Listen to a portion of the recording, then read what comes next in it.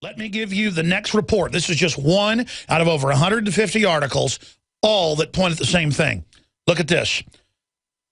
This is a report put out by CNBC. Should GM repay 10 billion rescue costs? CEO says no. Here's Kurt Nimmo's article up on Infowars.com. Corporate socialism. GM says no way it will pay back $10 billion. But wait, it gets better. They're not just shutting down now upwards of 500 coal power plants and thousands more they're going to shut down. They're totally clean, but aren't owned by the globalist, General Electric, tax exempt, total regulation waivers. They can pump out any amount of toxic waste out of coal power plants they want. Not only is their competition shut down, they can run dirty and build plants in Mexico when they shut down the Texas plant supplying five states and ship it in. That's just one example of literal Godzilla-level attack.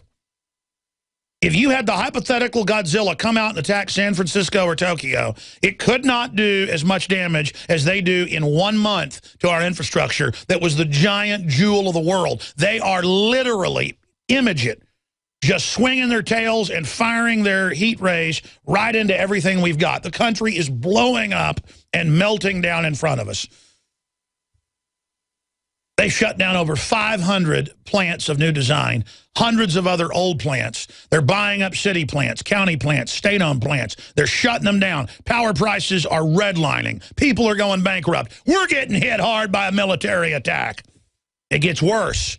The 20-plus billion, it's actually 22 billion last time I checked. This is a 10 billion payment that's come due by General Motors. Do you know what they spent almost all the money on? They spent it on shipping General Motors to China, Brazil, and Eastern Europe. I'm going to say that again. Look it up. Kurt Nimmo's got it in his article. They shipped your jobs. You paid tax money to ship your jobs. They don't just ship your jobs overseas, boys and girls. You paid for it. And you know why? Because the average person doesn't know how politics or geopolitics works. It's literally like a Green Beret fighting a three-year-old boy.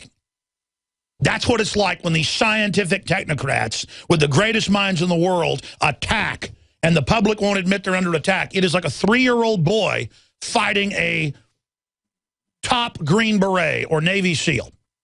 It, it, and, listen, you could grow up and be an adult and get ready for what's happening, but you won't do it. You stay in a childlike arrested development three-year-old level.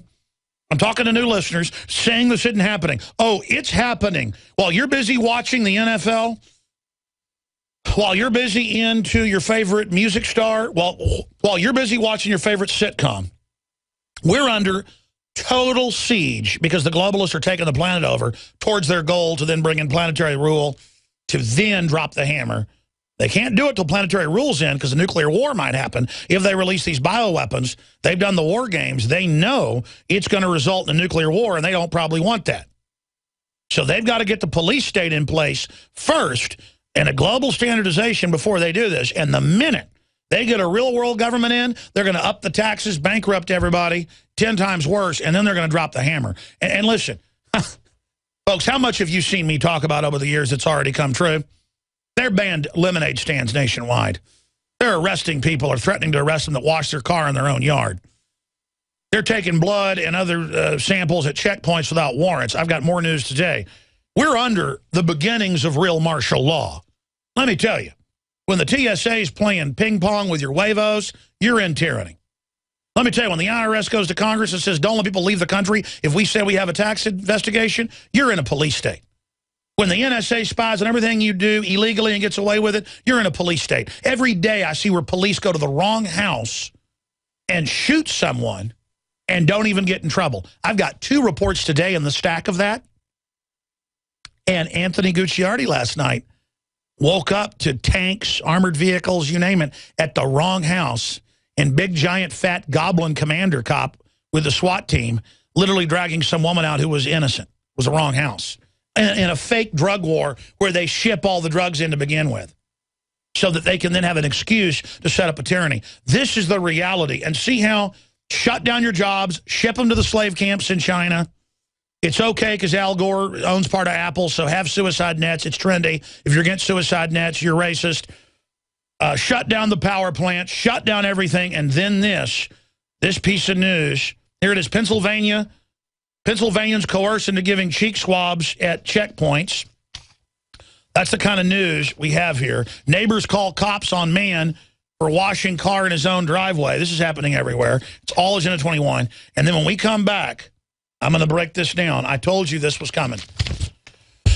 They cannot have you supplementing with even things like vitamin C. In Europe, under Codex Alimentarius, I've watched the UN meetings. They've made it where it's basically 100 euros to get a bottle of vitamin C that would actually do any good for you. And now they're bringing in GMO and pesticide-fed oranges where you can't even get the nutrients you need. And now they have a big hoax nationwide on every news channel last night saying there is no nutrients.